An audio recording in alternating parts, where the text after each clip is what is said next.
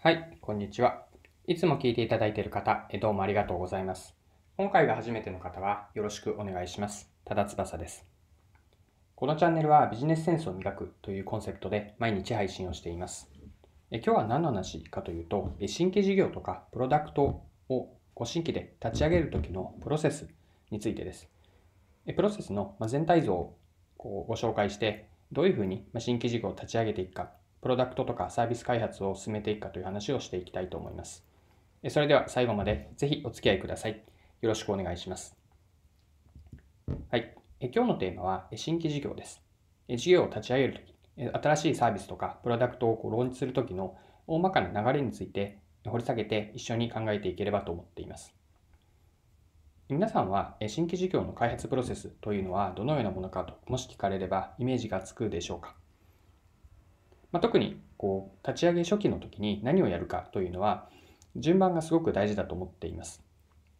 ではどのような順番をして新規事業、プロダクトとかこうサービスを立ち上げていくといいのでしょうか。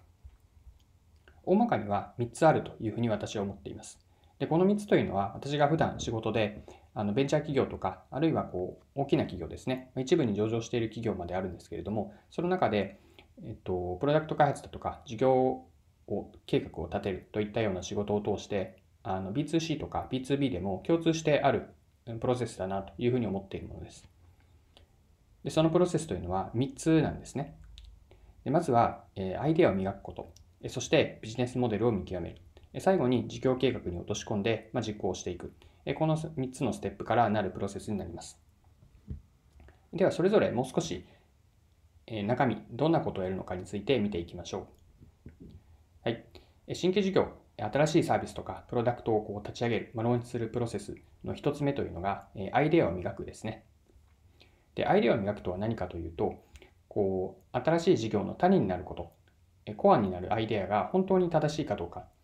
そのサービスとかプロダクト、想定しているものがこう顧客に受け入れられるかどうか、まあ、市場性があるかどうかというのを磨いていく。これがアイデアを磨くというふうな表現をしています。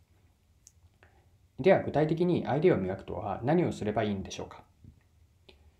ここでは一言で言うと、まあ、仮説の検証になります。まあ、アイデアとはいわばこの時点では仮説なので、仮説を因数分解していって、それぞれについて本当に正しいのか、想定と違っていたかどうかというのを検証していきます。で仮説は順番に立てていくと何があるかなんですが、まずは顧客設定になります。どんな顧客がそもそも自分たちの顧客なのか、そしてその顧客が抱えている、例えば現在の問題、顧客課題だとか、問題もこうすでに気づいている問題からまだ自覚していないようなこう不満といったようなものを洗い出していきます。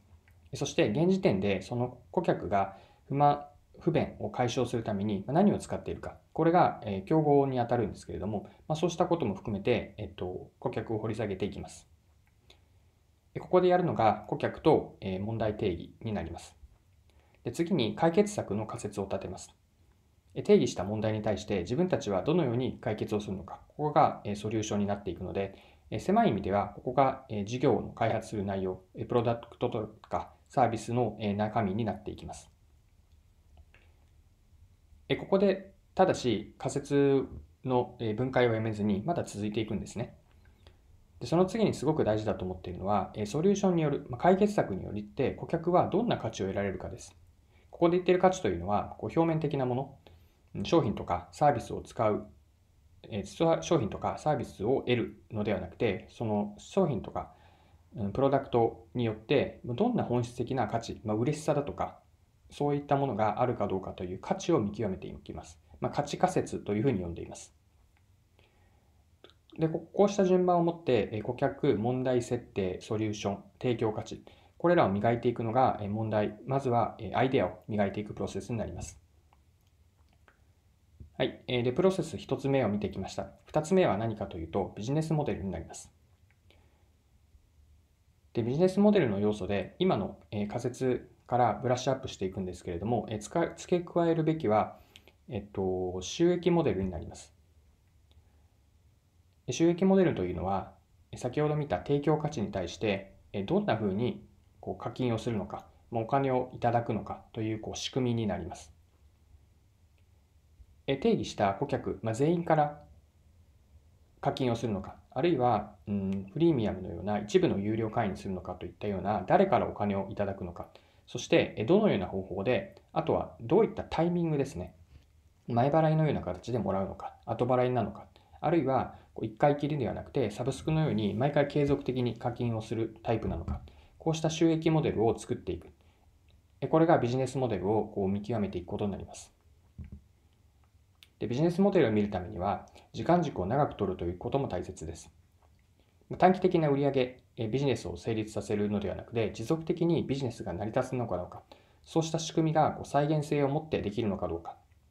あとは他社に真似できない参入障壁というのが何があるか、こうした要素もビジネスモデルを見極める上では大事なポイントになります。はい。で、事業を立ち上げるプロセスの3つ目というのは、えー、事業計画に落とし込んでいきます。で、アイデアを磨いてビジネスモデルを見極めた後に、えー、じゃあ本当にこれに会社としてお金や人をリソースとして、えー、投入するのか、えそうしたことを見極めるために、まあ、事業計画を作っていきます。で事業計画の要素は、うんとまあ、テンプレートではないんですけれども、えー、決まったものとして私は考えている、持っているものがあります。まずは、えー、背景、事業の背景となる、えー、情報、そして、うん、その背景から現状を把握、まあ、現状分析をした内容で、分析から得られるどんな問題を解決するのか、どんな課題があるのかというのを落とし込んでいきます。そして戦略と実行のパートになります。戦略をするための改めて事業の目的、存在意義、まあ、ビジョン等も含めて、えっと、目的を設定して、その目的を達成するためにどんな戦略を描くのか。具体的には、えどのタイミングでどのリソースをどういった順番にやっていくのか。そこにえストーリー性はあるかといったような戦略。そこから、うん、実行プランに落とし込んでいきます。実行のロードマップであったりだとか、え、組織体制、人員の配置、あとはその実行プランがなぜ妥当なのか、戦略も含めて妥当なのか、市場性であったりだとか、その市場規模、成長性、そしてどれぐらいこう係数にインパクトがあるか、売上、利益、あとコストですね。まあ、そういったことを係数計画としても落とし込んでいく。こうした内容を盛り込むのが事業計画になります。えここまで新規事業ですね、サービスとかプロダクトを開発をしていく、ま、立ち上げるプロセスを見てきました。ま、アイデアを磨いてビジネスモデルを作り、そして最終的には事業計画に落とし込んで、え、本格的な投資をする。で、ここで大事なのはこの順番だと思うんですね。まあ、ともすると、アイデアを磨き切る、つまり仮説を検証する、しきっていないのにビジネスモデル、特にこう収益モデルを、え、見て、え、じゃあこれぐらいの利益があるかといったようなこと、あとはサブスク前提で企画が始まっているようなことをよく見かけます。でさらにはビジネスモデルの特に収益モデルが明確ではまだないのに事業計画によって1年後2年後にこれぐらいの売り上げを見込むというような試算も出てしまっていることもあります。でこれらは確かに大事な要素なんですけれどもまずは順番として本当に自分たちが想定している仮説が正しいのかその仮説から特に提供価値がお客がお金を払ってでも得たい価値になっているのか、そこから初めて収益モデルを作ることができ、収益モデルが見込みが立ってから事業計画、まあ、係数計画ですね、特に、に、え落とし込むことが大事になります。なので、こうローンチのプロセスというのは、まあ、一足飛びに、え課金とか、え係数計画に行くのではなくて、あくまでこう一つずつ、まあ、地道な作業にもなりますが、まずは仮説から検証する。その中でも顧客設定と、え提供価値の、え認識合わせ、え実現、これを大事にしていく。最初にやって、え見極めるというのが大事になります。はい、え。というわけでそろそろクロージングです。え今回は新規事業の立ち上げる、えプロセスですね。サービスとかプロダクトをローンチするプロセスを見てきました。いかがだったでしょうか、まあ、こうしたことというのは、あのこう事業が、自分の事業がすでに立ち上がっている場合にはあまり関係がないと思われたかもしれませんが、えこの考え方というのは、えビジネスでこう汎用的なものだと思いますし、あのマーケティングとか、うんと戦略のあの考え方が含まれていたので、ま何かお仕事に参考になればと思っています。はい、え今回も貴重なお時間を使って最後までお付き合いいただきありがとうございました。えこのチャンネルではビジネスセンスを磨くというコンセプトで毎日配信をしています。え次回もぜひ聴いてみてください。また、チャンネル登録をしてフォローいただけると、新しい配信を見逃すことがなくなります。まだの方は、ぜひチャンネル登録をよろしくお願いします。それでは、今日も素敵な一日をお過ごしください。